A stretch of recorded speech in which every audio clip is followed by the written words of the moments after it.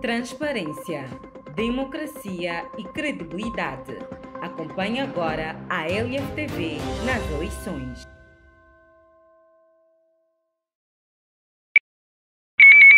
O grande dia está cada vez mais próximo. Faltam menos de 14 dias para o encerramento das eleições municipais. E a expectativa dos eleitores cresce à medida que o pleito se aproxima.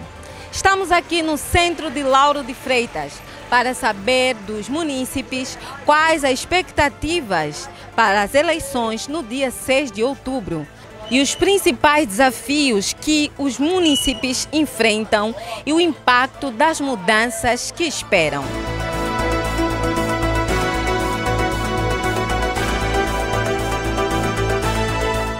Quais devem ser as prioridades para melhorar a situação da cidade? Primeiramente, a saúde. A saúde está muito precária em todo o Brasil, principalmente aqui em Lauro de Freitas. E depois a segurança, tá bom? Depois vem a educação. São três prioridades essenciais no município, tá bom? Saúde, educação. É o mais importante que a gente estamos precisando. Aí eu creio que segurança, o transporte aqui também está um pouco complicado. Educação, principalmente, né? Eu acredito que principalmente a saúde. Saúde. Principais são a saúde. Tá faltando tudo: saúde, educação, saneamento básico, trabalho, emprego, essas coisas. Segurança, né? Educação, essas coisas assim.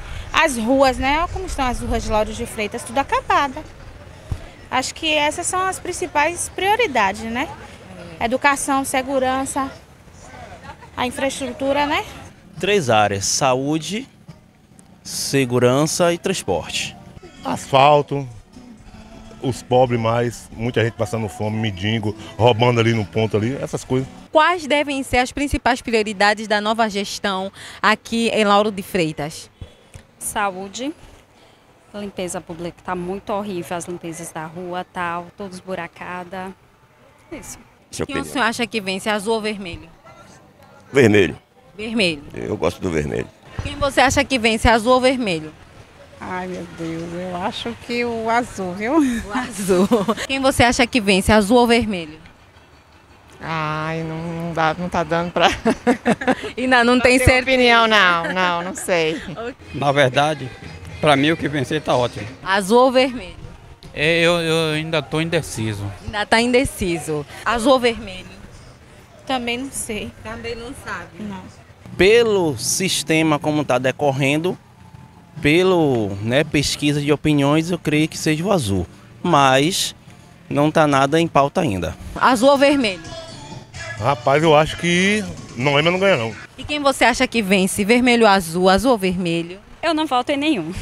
Não tem nenhum? Outubro se aproxima e a expectativa dos munícipes ainda está em alta.